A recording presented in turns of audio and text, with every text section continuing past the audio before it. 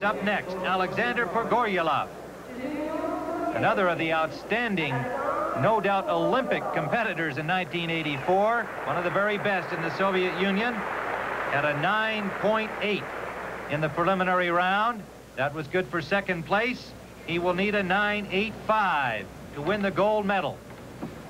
Pogorelov, we first saw him in 1982 at the American Cup in the mixed pairs.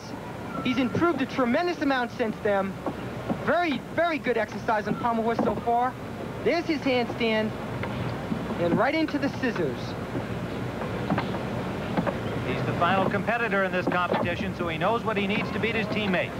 This is an exceptional routine, Tim. Hops to the end of the flare, hops back to the middle.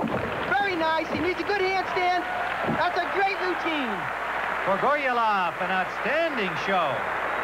He's got to feel good about that one, Peter and his coaching staff, uh, they show generally very little emotion, but they give him a big hand. Watch the extension and lift on the flaring work. Right there. Look at the lift.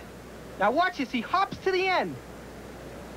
And back to the middle, the hop. That's extremely difficult. The balance there is key right up to a handstand.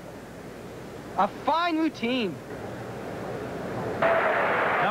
162, Pogorelov scores a 9.8, and that is not quite good enough to take the medal away from his teammate, but he is tied with a total of 19 points.